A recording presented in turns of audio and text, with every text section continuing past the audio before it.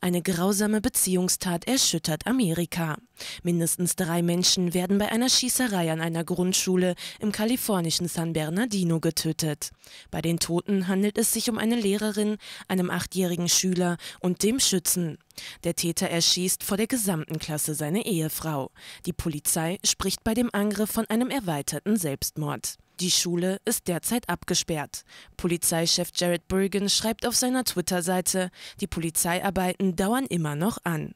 Wir gehen aber davon aus, dass die Gefahr vorbei ist. Die Stadt San Bernardino ist 2015 Schauplatz des schwersten islamistisch motivierten Anschlags in den USA seit den Anschlägen des 11. September.